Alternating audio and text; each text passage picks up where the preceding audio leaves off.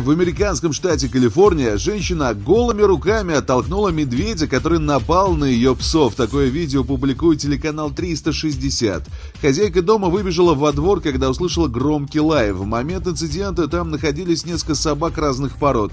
Судя по видео, медведь забрался на ее забор и пытался напасть на псов, но в этот момент подбежала их хозяйка и руками столкнула зверя. Он повалился назад, но вскоре предпринял попытку забраться снова. Женщина в это время собрала собак и убежала с ними в дом.